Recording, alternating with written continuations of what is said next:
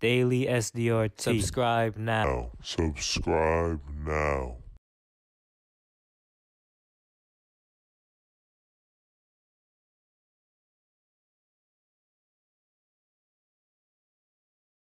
Hey guys, welcome back to the channel. And in this video, we'll be talking about Lil Durk and Rich Porter, who is NBA YoungBoy's cameraman. So, a couple days ago, it was India's birthday. For the people who don't know who India is, India is like Lil Durk's girlfriend slash wife. So, it was her birthday. She posted, obviously, pictures for her birthday on Instagram. And in the comments was Rich Porter YoungBoy's cameraman. So as you can see right here on the screen, there's India's birthday post, and then there's Rich Porter.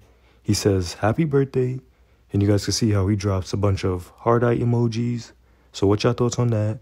How do you guys feel about that? But a couple of blogs started posting about it, how YoungBoy's cameraman was com- commenting hard eyes under Durk's girl. So I guess maybe Durk might have seen it, who knows? Maybe he was just talking about in general, but Durk ended up posting this. If I catch y'all in those comments, I'm gonna break y'all jaws. Some people took took this as maybe he was talking about YB's cameraman. Who knows? It could have just been about everybody in general.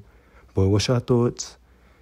Durk says this. Um, YB's cameraman is dropping hard eyes in her comments.